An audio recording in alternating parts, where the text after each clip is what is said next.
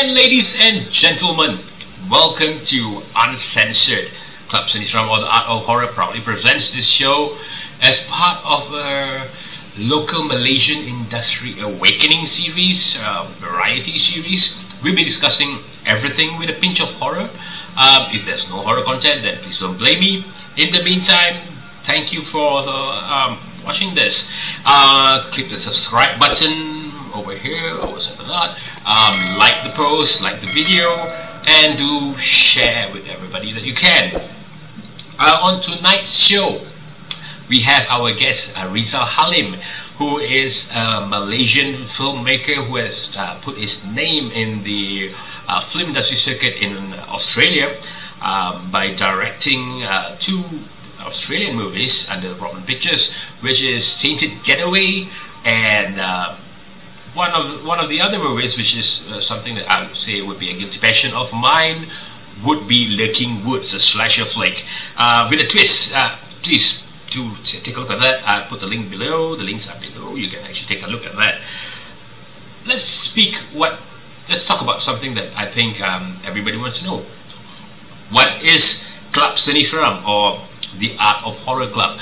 The Art of Horror Club was established uh, in 2019 as an NGO here in Malaysia, and we promote, we assist, uh, we assist to promote, to bring up the horror genre uh, in in Malaysia and the Asian uh, scene. Right, we are an NGO registered under the Malaysian government, and a few of the few of the um, things that we cover is paranormal, uh, parapsychology, films, uh, horror in music, and and we also have an Instagram page, so please do follow that. I'll put the link below.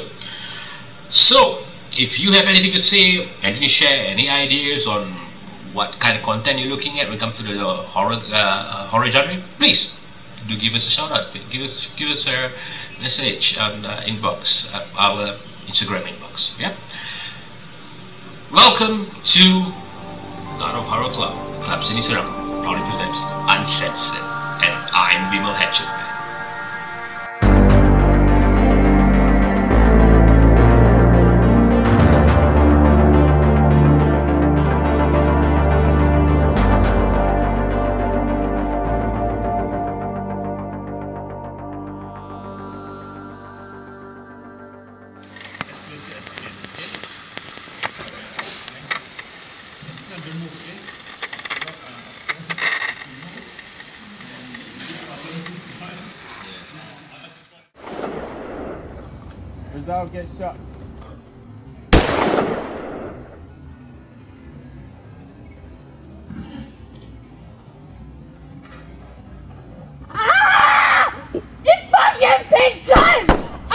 Of you!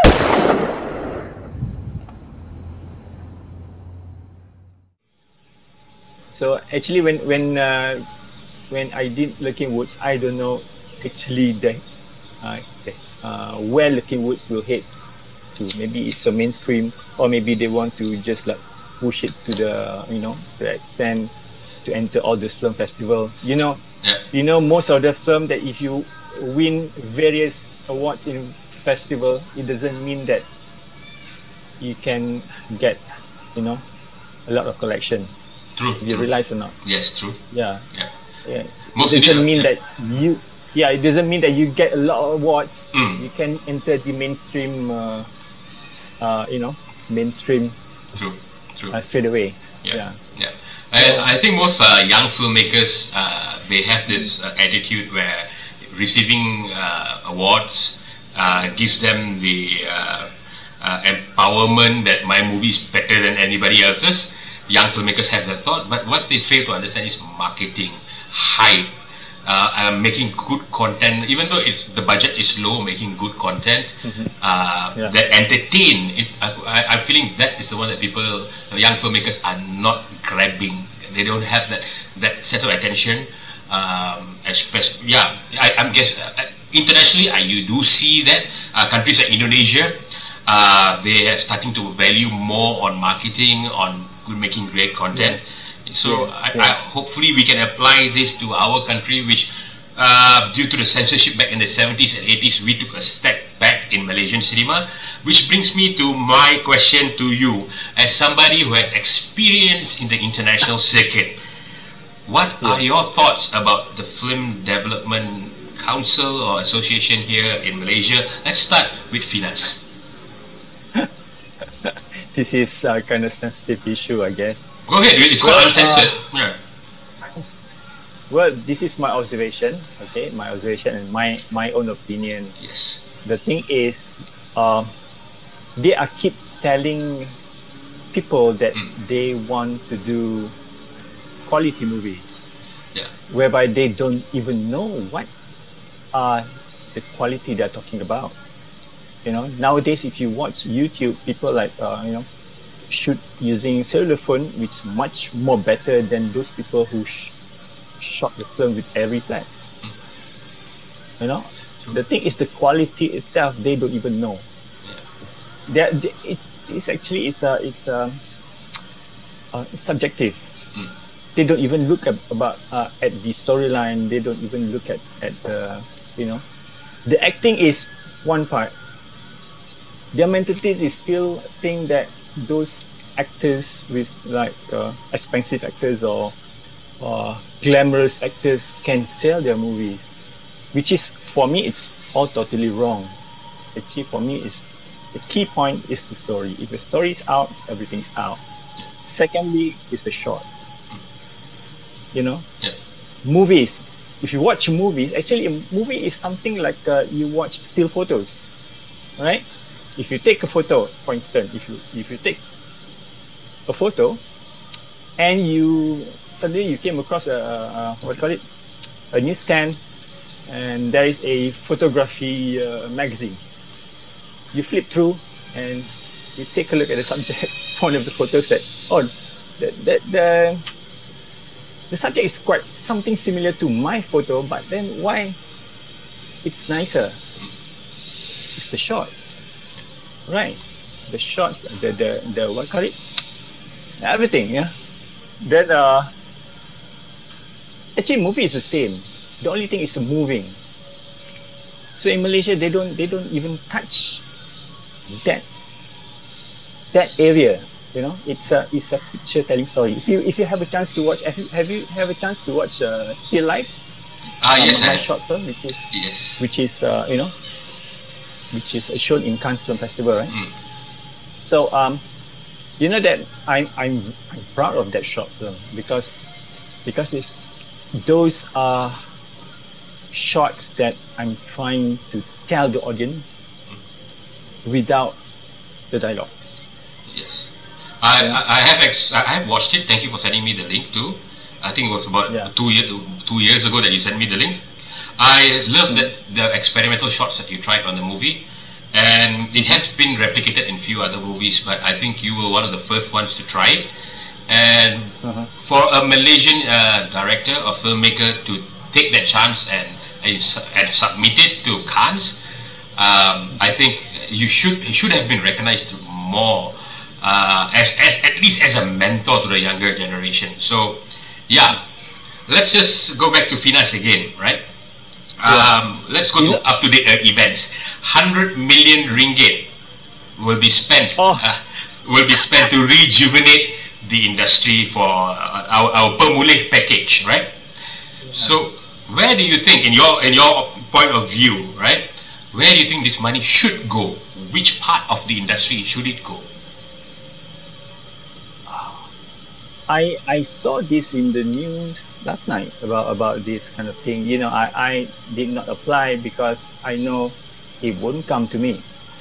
You know, I wouldn't get it. So uh, why I want to waste my time? You know, sending all the documents and everything, and at the end you got frustrated and you uh end up like don't want to become a filmmaker anymore. All right, so uh, I saw the news that I uh, came across that few people, familiar faces that got the the, the dana, the grant. Yes. You know what I mean? Yep. Yep. So these people actually, for me, if if you a film development department, right, or whatever you call it, what is your main goal? You want to boost the film industry, right? So why you want to put all the grant, give all the grant to most of the people that already make big movies? You should help those new filmmakers or those are struggling to make a movie. Yeah. And also you have to I don't know. Even even the panel also like when you when you when you go and um, and ask for the grant, they don't even know uh, what kind of story that can really sell. What is the objective of making a movie? You want you want to sell the movie or you just want to, you know, the Malaysian say shock sendiri. Yep. What do you think? Am I right or not? I, I would like to share my thoughts, And- but I think now would not be the right time. Um, one thing Yeah, I and- know that about you personally is that you are very vocal. Uh, you've appeared in many TV show, uh, many talk shows um, in the mainstream media to to push. Uh, I, I wouldn't say the apa ni kutuk lah. I would say kutuk, but in a very productive way, make make people see things differently. Uh, you've been doing that for quite some time, but dia terasa macam your suara tak ter- didengar. If if your opinions have not been taken seriously, but It's, not tak didengar. It is the one to dengar. don't want to dengar. like, uh, they don't want to dengar. Yeah. Because they think that I'm nobody. Hmm. That's the thing. And they they are they don't want to uh, boost my name outside there because they're scared that they cannot cari makan. Okay. You know what I mean? Yeah. Yeah. But for for me, it's I I think differently because Mm. I want I want you guys to upgrade the standard. You know, no point you send all these people like uh, go to US or whatsoever upscaling uh, courses which I didn't get.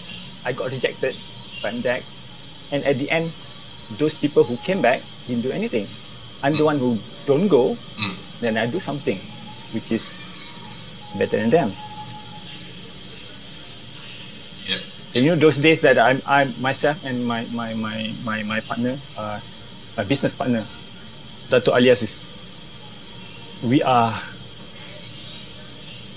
very hard to to get all those funds to get movie very very hard. Mm. but at, at the end we are like we managed to pull it off so that we can we can you know we can uh, produce King Woods and Tinder Getaway at that time. And we got a lot of kutuk you know people are kutuk how come with this kind of money you can do international movie all that kind of stuff I I even say F word to them even though they are like Datuk Sri I said okay never mind I'll prove it to you yeah, there you go Yeah. Uh, and um, in our in our video cast here, you can say fuck. Don't worry about it. Just say fuck. It's Yeah, fine. yeah. It's, it is uncensored. so um, yeah uh, uh, you in face Australia Yeah. in Australia we say fuck word uh, many times Yeah. Almost most of the time most of the time yes, and uh, you have through, gone through a lot. You have struggled a lot in the industry. You have tried to put your name in the map uh, many, many times, and and I believe that moving forward would be the right way to go. So let's look at the next two to three years. Rizal Halim, what's on the books right now for you? Okay, actually, I got contacted by by few producers from from the US, from Germany, and even from uh, from Mexico. But uh, maybe I'm not that lucky because of the pandemic kind of thing, you know. So I still hope that everything is over, then I can go over there and and you know do something, something for for myself. Actually, actually, it's, it's wrong. Actually, it, it's wrong because what I did was okay. All this while making international movie is not for myself. Actually, for all the filmmakers in Malaysia. Okay, I just want those people open up their eyes that not these certain people only can make movie you know i'm the the person who is nobody can go beyond them. You know what I mean? Yeah. So please give opportunity to those new filmmakers, Yeah. right? And also showing them that we need more this kind of like uh, entertaining movie.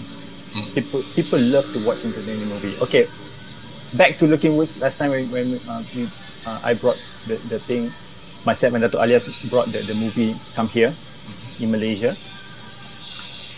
The filmmakers out don't like don't like it. Even Finas don't don't don't want to help. The the penapisan uh, censorship they are very helpful. Thank you to censorship. They're very helpful to me.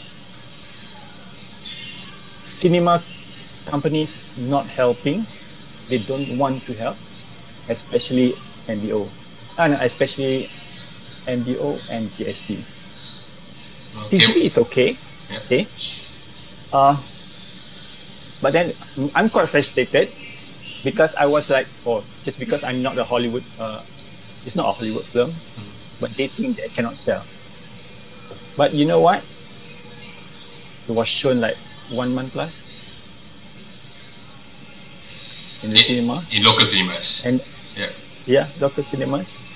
But then why they just give me like 10 cinemas? Because I don't get support.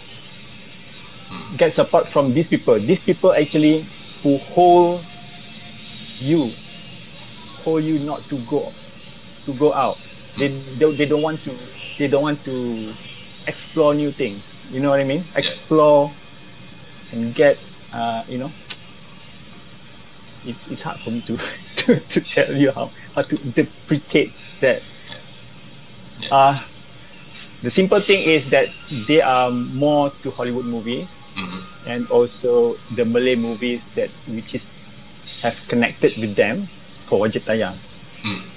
That's the thing. So I'm like I'm in between. I don't I don't get help from from from Finas or this uh, uh, uh the, the the cinemas. But then I proved them wrong. Now they are screaming in the US.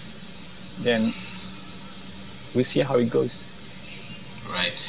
And your experience, I- um, yep. Yeah, because I saw it uh, making look. Uh, I mean, Lurking Woods kind of kind of movie or English movie. I have I have more bigger market. Yeah. I have more bigger market, and and also uh, the reason I went to Australia is to to be and challenge myself to the extent with other greater filmmakers. Don't be a coward. Don't go to third world country and make movie and make yourself a hero. That's very very wrong. Okay. Okay. That, that was powerful. That was powerful. Thank you so much. All right. Uh, let, uh, I mean, let's go. Let's stick with Lurking Woods for a moment here. If given the opportunity, the right funding, the right people backing you up, do you see a franchise being built up here? Because um, the closure to Lurking Woods uh, had its message, but do you see a franchise coming? Do you see a sequel uh, on the horizons? Maybe with the right backup, do you think this is something you can do? Oh, okay. Um, I was thinking of making a sequel, but then uh, there's at one time that I have an interview, online interview with, uh, with this uh, US horror critics, which is they love the movie. When I I touched about Lurking Woods and I said like, oh, I'm most probably I'll be doing sequel. They are they got excited about it, and uh, I got in touch by one of the uh, actually two or three film company in, in the US trying to get in touch with me and maybe they, they want to I assume that they already watched Lurking Woods and maybe they want to do or collaborate with me. I don't know whether it's Lurking Woods or other other projects, I'm not sure. But I love to do sequel for Lurking Woods because I know it's uh, it's going to be a hit. Or maybe if Lurking Woods uh, not really massively watched in uh, by by horror fans or maybe it's not widely spread yet if they watch Lurking Woods part 2 maybe they will look over try to look over for part 1 Yeah. but Yeah, but uh, if you, if you watch Lurking Woods, then you know why I did the, the the endings like that because most probably I was maybe I would do sequel Yeah. for the movie. Yeah, and okay for those who are right now watching um, our uh, our episode here, the links are below. Lurking Woods. If you're in the US, Canada, Australia, please click on it. Um, it's Yeah. it's a movie that will definitely give you the ride of your life. Um, let's Yeah, let's bring it back to Malaysia again here. Um, You have been struggling. You have had difficulties, but um, do you find that the in, in the Malaysian local horror genre here, the industry of horror, what do you think is missing that other countries have that Malaysia doesn't have in the horror genre in Malaysia? what you mean? You mean what? Uh, What's missing? Okay, I'll give you an are- example. The Lurking Woods movie. missing or what? Malaysia is missing. Um, an example here, you have the mainstream horror industry in the, in the US, in the UK, and you have the independent and you have the low budget, right? Low budgets are less than 1 million uh, USD. In Malaysia, there is no grounds of experimentation for horror movies. There's no middle ground. We have only high budget, and then we have the YouTubers. We don't have an independent horror circuit because independent horror circuit is the best way to experiment, to try new things. Uh, that's one thing that's been missing in Malaysia. What, what's your what are your thoughts about creating a horror industry in Malaysia, the independent circuit? Okay, firstly, we need to take a look at uh, the opportunities. Even though you make a good movie, all right, if those people like Finas or the, the, the cinema company don't give you a chance, then you out. That's what people, these people don't teach all the film students here in Malaysia. You know, no matter how good is your movie, if you can't get it out there, that's it. Okay. What I experience is it's very hard for independent movie to go out there because uh, you know the, the, the cinemas actually they already like they already target their their their, their income the collection. They only target like uh, Hollywood movie to be out there. Because every month they have like okay James Bond is coming out Top Gun is coming out you know they already planned so what if you put like my movie in there they, they say like oh this one cannot make movie. Because you know the mo- the cinema will take 50% out of it. Mm. so to them it's a business. But again I don't know what what I, I see now here cinemas is controlling Finas not Finas is controlling uh, cinema company Mm. what, I can see you know Yeah. like uh, the cinema is deciding Mm. for Finas to give uh, how many cinemas, how many shows, or how many halls to the local. What I can see here, correct if I'm wrong, you know. But whereby actually Finas they should have like full power to tell the cinemas, okay, no matter what, you got to play this movie, yes or no. Otherwise, we will revoke your, your license. Mm. And also, Finas should be fair as well. Mm. All the, the film, no matter how big it's, it's the, the, the, the, what do you call it? The budget, they should be, they should be fair. Like if one movie, like, one movie is like, they're giving 200 cinemas. Mm. For example, right? For example, they should, they should be square to, uh, fair to others as well. 200 cinemas all the way. Then the filmmaker will will like uh, those who you know gain like seven million or ten million. Then they, they should be proud lah what, what they get.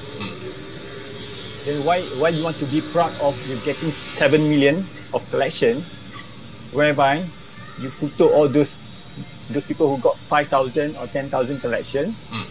but the public don't know that those people, the independent, they only be given like 10 cinemas or 5 cinemas or 20 cinemas. How can they make money? Right or not? Yeah. for, for me, it's not fair at all.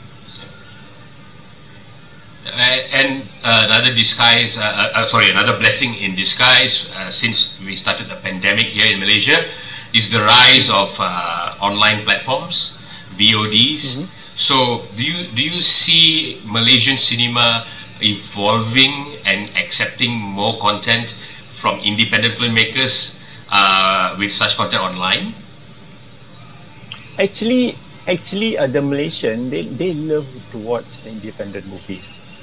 Uh, if if you ask me, because I did my survey, they love to watch. Uh, they beginning to watch independent uh, filmmakers rather than watch this uh, mainstream kind of movie because uh, for them it's kind of lame.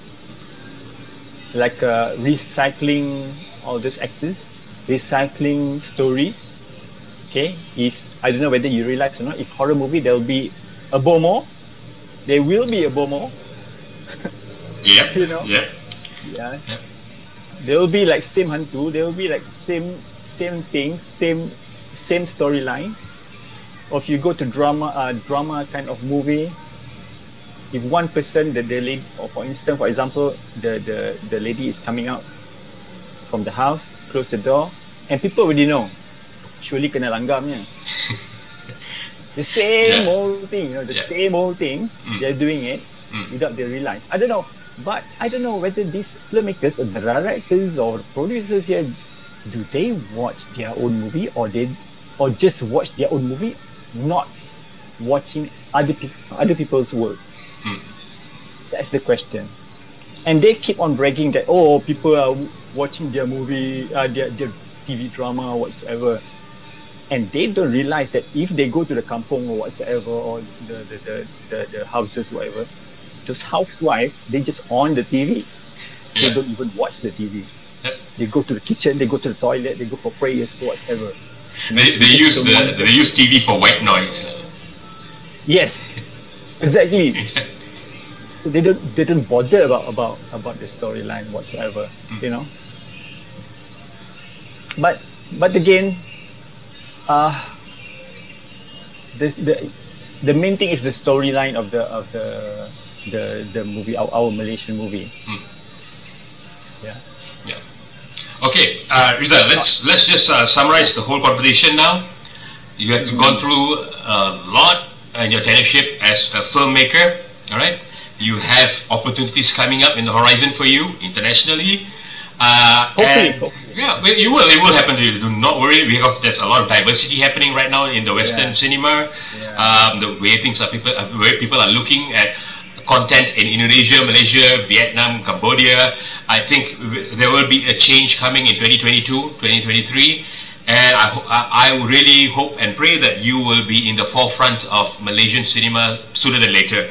Uh, if you're gonna if you're gonna give two advice, just two advice to new Malaysian filmmakers, young kids, uh, the TikTok generation, two advice, what would you give them? The TikTok generation. Yeah. because those TikTokers can't. I know. I don't think so. They can make a, a feature length movie because they have to venture into it. They have to experiment, make movies. Yeah. My advice to them: just keep on shoot with your with your cell phone. Nowadays, cell phones are so good, so damn good. You know, you, can't. They they even uh, can can shoot uh, up to six 10k resolution Yep. and they can make good movie the only thing is uh, you have to master the the, the shot how, how to shoot it uh, the compositioning of the the what do you call it the shots Mhm. editing and I found some of them actually no it's actually it's not true most of them are good in editing Mm. you know Yep. In in a in a project in a film there are three directors actually. Mm. three directors for those who don't know. First is the scriptwriter. Mm. okay? First is the scriptwriter those who write the movie write the whole story. Second is the director on set. The director on set can change to be a better story or make it worse. You know? Yep. that's the second director. The third director is the editor. The editor can manipulate the whole thing. They can he can he can manipulate the script. He can manipulate the the, the shots to make another whole new story. Mm-hmm. Yeah, You know, but then to become a good director, you need to do you need to know everything. You need to know how to write. You need to know to direct. You need to know how to shoot to use the camera so that the cinematographer who think that they are good cannot lie to you on set. You know? Mhm. Like some of them like, oh, I cannot do this shot. I cannot do this, I cannot do that. If you know the camera, you take the camera and you shoot it yourself. Then after that, the editing part. You got to know. Because if you know the editing part, if you use, still use the film can, you can save the film can. Because you know where to cut actually on set. You don't need to like like a typical film director single single master single single master. Mm. that is a typical that anyone can direct. That's why i said. If uh, anybody wants to say eh, anyone ask me hey i want to become a director. I said everyone can become a director. It's very easy. You just shoot like master single single. That was what they did even even in tv drama if you watch in tv drama you know in local tv drama Aduh. most of the shots like that Yeah. most of the shot like that master single single and established shot Yes. Have- Unfortunately, have you you're watched right. foreign, have you watched a foreign movie you watch foreign movie right I, i'm sure Uh, yeah, is definitely. there ev- is there any establishing shot Very rarely, but people are yeah, very rarely. but minimal but not not that much right Yes. people already know if you're in the cafe people already know ah you're in the cafe Then if they see uh, they, see like a toilet bowl ah they already know that it's a toilet Yeah. so why won't you tell people that oh okay this is a big building Mm. you know i'm in the office Yeah. and and also if you watch tv drama okay especially the malays how many scenes with uh, at the meja makan dining table drink eat drink eat how many no action why why must you pay these actors big money whereby they just uh, sit there and eat that kind of scene All right. good. watch so, youtube a lot Yeah, yeah, yeah. you watch YouTube, even they have better shots than that. Better scenes like that. Okay, to, simpli- to simplify what you just said, uh, to, to simplify this, technical knowledge is power. So, kids, technical knowledge, pick it up, um, know the whole industry. Yeah. So, when you become a director, you will know everything. Yeah. Uh, and you will know when people bullshitting you. Like, DOPs, unfortunately, a lot of them will bullshit. So, but the equipment is good. So, uh, that's Yes. that's quite true. Thank you so much. All right, uh, Encik Rizal Halim. Another thing. Yeah, silakan. Another thing is, another thing is, Hmm. think out of the box. Always think out of the box. Yes. Some some of the shots. That's why I said if you learn editing that you know, okay, just shoot whatever. At times that NG shots, NG is a short term for no good, right? No Hmm. good shots. At times the no good shots is the best shots. You never know. Just keep on filming. Yep. Yep. Yeah, that's my advice. Nice one. So, with that said, the director of Lurking Woods, um, available now with the links below. Thank you so much. And everything that's going to go down in the next two years, I just wish you all the best. And hopefully, there will be opportunity where we can work together, which I uh, crossing my all my fingers. Um. Mr. Rizal Halim, thank you for being on Uncensored. And Yeah, one one more thing, I'm I would like to apologize because of my English because uh, maybe I'm too long in Malaysia. I eat a lot of belacan, so maybe the, wire already. Alright, then I, I, I, I let, let, let me get deliver you some fish and chips. Mungkin uh, the tartar sauce can help a bit. right, so thank you very much. And yeah, the director of Lucky Woods, Encik Rizal Halim, thank you so much for being here. Thank you for having me.